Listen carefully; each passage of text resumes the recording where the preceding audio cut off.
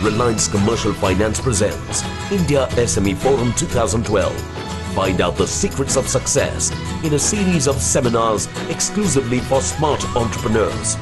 Join India's biggest SME initiative to boost your business and celebrate SME achievers with India SME 100 Award.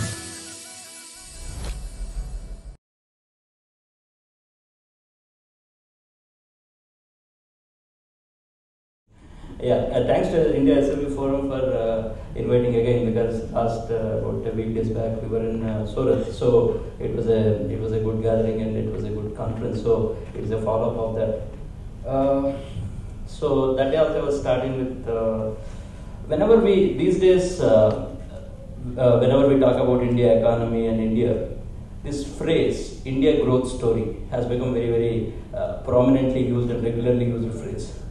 पिछले चार पाँच साल से India growth story is regularly used एक कभी भी ये फ्रेज सुनता हूँ, मुझे एक एसएमएस याद आता है कि जो मुझे एक फ्रेंड भेजा था।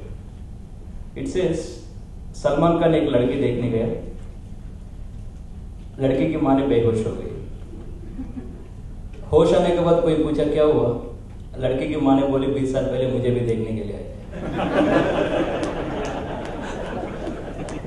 somehow uh, India growth story and Salman Khan's marriage there is a lot of similarities.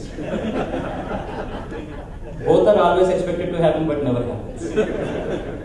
It's not that Salman Khan is not working hard. वो बहुत मेहनत कर रहे हैं शर्ट वर्ट निकाल के तो कोशिश तो करता है वैसे बट होता होता नहीं वहाँ तक जाते हैं कुछ हो जाता है सिमिलरली इंडिया ग्रोथ स्टोरी बीस साल से हम बात करें करते आए 1990 से हम सुपर पावर बनने वाले हैं हम ये होने वाले हैं हम वो होने वाला है बट महीने के एंड में same rent same current bill same employ salary same petrol का दाम बढ़ रहे डीजल का दाम बढ़ रहे ये है, वो है, सब सेम रूटीन डिस्कशन आगे कहाँ बढ़ी डिस्कशन आगे कहाँ बढ़ी कि हाउ मेनी ऑफ़ अस जो 1990 से जो बिज़नेस कर रहे हैं यूरोप में जाके एक एक्विजिशन कितने लोग कर पाए हमने लेट्स से आज के दिन में यूरोप में यूएस में एक्विजिशन इतने सस्ते वैल्यूएशन में कंपनीज़ मिल रहे हम कॉन्फिडेंटली बोल सके हम, मैं जाके वहाँ एक पाँच मिलियन डॉलर की कंपनी खरीद के आता हूँ घूम फिर के तो सेम बात है कि डीजल प्राइस पाँच रुपए बढ़ गया। तो क्या ग्रोथ स्टोरी सो कहने की बात है कि अच्छा लगता है कि कभी भी ये सुने कि हम ये हो रहे वो हो रहे वगैरह वगैरह। मैं थोड़ा इंग्लिश और हिंदी मिक्स करके बात करने की कोशिश करता हूँ क्योंकि that makes little more lively okay जब हिंदी की बात आती है मैं तो साउथ इंडियन हूँ वो तो नेचुरल है। इसके लिए कोई रिसर्च की ज़रूरत नहीं है नो सो जब मैं साउथ से, मैं दिल्ली में बेस्ट हूँ, जब नॉर्थ इंडिया आया इनिशियल डेज़ में हिंदी का बहुत प्रॉब्लम होते उन दिनों में एक मूवी आया, मुझसे शादी करोगे। उस मूवी में एक गाना है, जो प्रियंका चोपड़ा वाला, कि मुझसे शादी करोगे, मुझसे शादी करोगे वाला एक गाना है। इसमें एक लाइन है, मैं भी बेकरार हूँ, तू भी बेकरार हो, मुझसे शादी करोगे। उन दिनों में मुझे बेकरार और बेकर, इन दोनों की डिफरेंस पता नहीं। मैं सोच रहा था कि भैया, ये लड़की कहना क्या चाहती है? कि मैं भी बेकार हूँ, तू भी बेकार शादी करें ये कोई फाउंडेशन थोड़ी होती किसी चीज़ के लेकर वैसे हो सकता है शादी। वैसे वो सर बहुत बार यही होता है, वो चीज़ अलग है। बहुत बार होता है चक्कर है कि वो इतना ओपनली सॉन्ग में बोल रही है। तो बट फिर भी जब भी ऐसा वाला कोई दिक्कत हो तो मेरा हिंदी में बस भावना को समझिए भाषा को मत समझिए।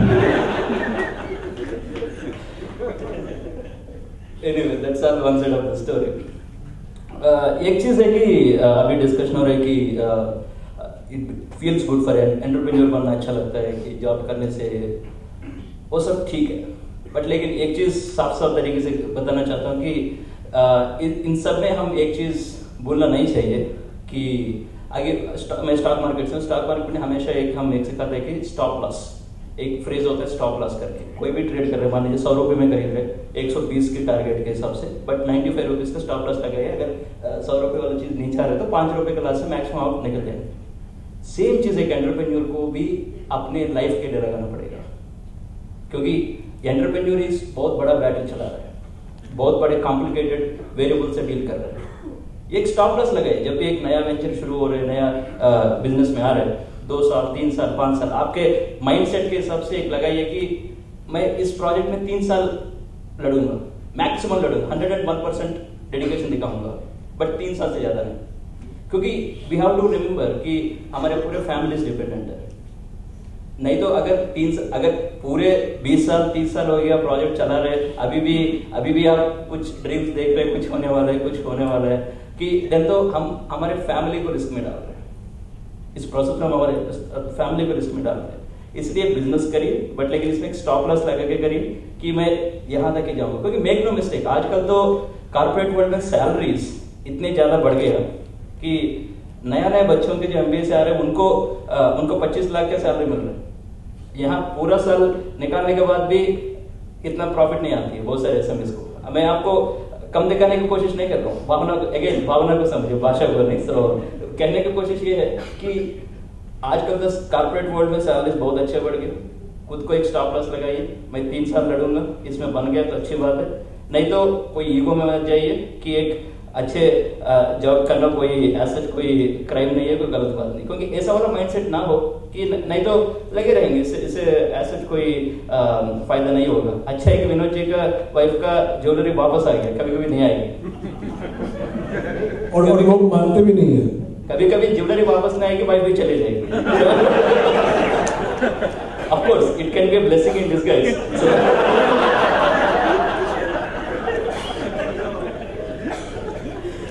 but nevertheless इतना बड़ा रिस्क तो नहीं लेना चाहिए सो या सो लेट्स सी अगर कोई फंडिंग तरीका है तो एक छोटा चार्ट है, इसमें दिखाने की एक कोशिश किया हुआ है कि कैसे एक नया कंपनी से शुरू करके अगर आईपीओ वाले कंपनी तक अगर पहुँचना है तो क्या क्या करना पड़ेगा? मान लीजिए, नया कंपनी है स्टार्टअप नया नया मान लीजिए एक अभी अभी ग्रेजुएशन कंप्लीट हुई, अभी अभी कोई प्रोजेक्ट चलेगा नहीं, उस पर जनरली स्टार्टअप बोला जाता है। उस टाइम में जनरली उनके पास आइडिया के अलावा कुछ नहीं होता है। एक आइडिया होता है, मेरा जैसा एक पीपीटी होता है हाथ में, बस, कि मैं हम ये बनूँगा, ये एक पाप का स्टैंड लगा रहा हूँ, पाँच साल में प्रोजेक्शन देखा था कि मैं माइक्रोसॉफ्ट बनने वाला हूँ। तो ऐसा कुछ प्रोजेक्शन प्रोजेक्शन बना के कुछ तो बना देता है कि वो शुरू करते हैं। इनिशियली इसके अलावा कुछ नहीं होता। मे बी फादर मदर या रिलेटिव्स वगैरह से पाँच, दस लाख बीस लाख रुपए जो भी इकट्ठा कर पाए, वो वही होगा। उस टाइम में अगर कोई फंडिंग दे सके, उसके उसके आइडिया को सोच के समझ के अगर कोई फंडिंग दे सके, उसको एंजल कैपिटल बोलते हैं। एंजल कैपिटल क्योंकि उस टाइम में कोई उनको, उनके ऊपर भरोसा नहीं दिखा रहे। अगर कोई इन्वेस्टर आके उस टाइम में अगर भरोसा दिखाने की कोशिश किया इसको एंजल बोलना चाहिए। एंजल मतलब इंग्लिश में the like god kind of thing so इसको सीड कैपिटल एंजल कैपिटल बोला जाता है। Generally fifty lakhs one crore इस रेंज में हो जाता है। मान लीजिए फंडिंग लेके दो दो साल, तीन साल, चार साल ऐसा बड़ा हो गया कंपनी एक स्टेज पे आ गया, फिर एक बार फंडिंग चाहिए। उस टाइम में और एक बार अगर फंडिंग चाहिए नेचुरली अब थोड़ा स्केल बढ़ने के बाद अपना, आपको चार करोड़ पाँच करोड़ दस करोड़ ऐसा वाला फंडिंग चाहिए होगा। Then it will be called venture capital then it will be called venture capital first is angel capital और seed capital then it's venture capital इससे भी मान लीजिए पाँच छह साल और हो गया, और कंपनी और बड़ा हो गया। Now again you need now thirty crore forty crore ऐसा वाला मामला then it's called private equity और ग्रोथ कैपिटल जनरली इस इंडस्ट्री में ये सब चीज़ें उनको लोग use interchangeably like say uh, seed capital let's say venture capital private equity. अगर कोई बट लेकिन प्रॉपरली यूज़ करना है इनिशियल स्टेज में सीड कैपिटल बोलना चाहिए then venture capital then private equity that's the proper usage of the terms so market में बहुत सारे फंड्स हैं. एंजल कैपिटल लेवल में भी है वेंचर कैपिटल लेवल में भी है प्राइवेट इक्विटी लेवल में भी है.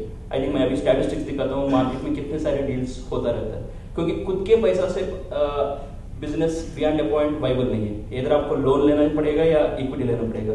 लोन लेने से सभी को पता है कि कैसे वाले टेंशन होगा, कैसे repayment there is always risk of repayment there is risk of mortgage है तो अगर एसेट वेसेट को बैंक वाला लेने के वो रिस्क होता है। इक्विटी फंडिंग में there is always advantage you are getting a partner you are not getting a loan giver to that extent there is always a there is always a good chance so अगर अगर देखें this is this is statistics अगर इसमें आप first three bars पे concentrate करिए two thousand five six seven ये तीन साल इंडिया के लिए बहुत अच्छे कंट्रीज़ माना माना जाता है। आपको भी आई एम श्योर बिजनेसमैन को इजीली याद होगा। फाइव सिक्स सेवन में कैसे मार्केट ऊपर बढ़ रही है इकोनॉमी ऊपर बढ़ रही है प्रोजेक्ट नया प्रोजेक्ट एक्सपेंशन वगैरह वगैरह वगैरह। सो नंबर ऑफ़ डील्स भी देखिए अमाउंट भी देखिए। फॉर एग्ज़ाम्पल टू में टोटल डील्स इंडिया में जो हुआ that is about twenty billion dollars twenty billion dollars होता है एक लाख करोड़।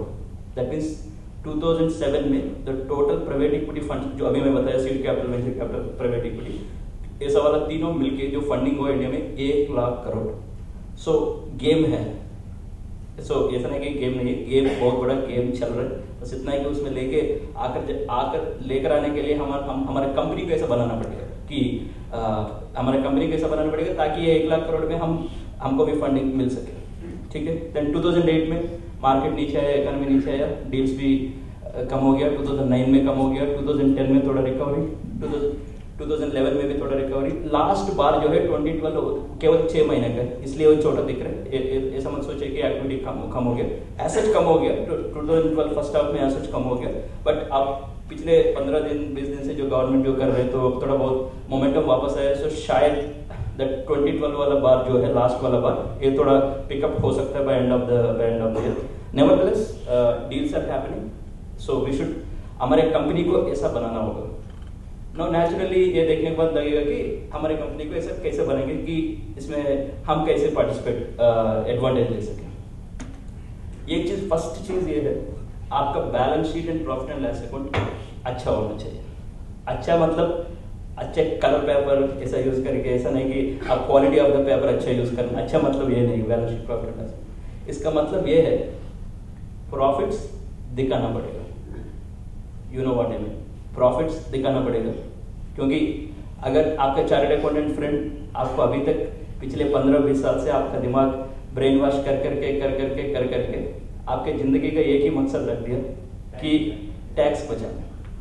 बाकी सब बाढ़ में जाए बस टैक्स बचाना। बस कुछ और नहीं है बस ए, एक ही टारगेट है। बट इस प्रोसेस में क्या हो रहा है? अच्छे अच्छे वेंचर्स भी कैपिटल उठा नहीं पा रहे वो पूरा ज़िंदगी एस एम फोरम्स आते रहते हैं। पूरा इस साल भी आएँगे नेक्स्ट ईयर भी एस एम फॉरम आएँगे, पाँच साल बाद भी एस एम फॉरम आएँगे टी शर्ट लेके जाएँगे संडे को पहनेंगे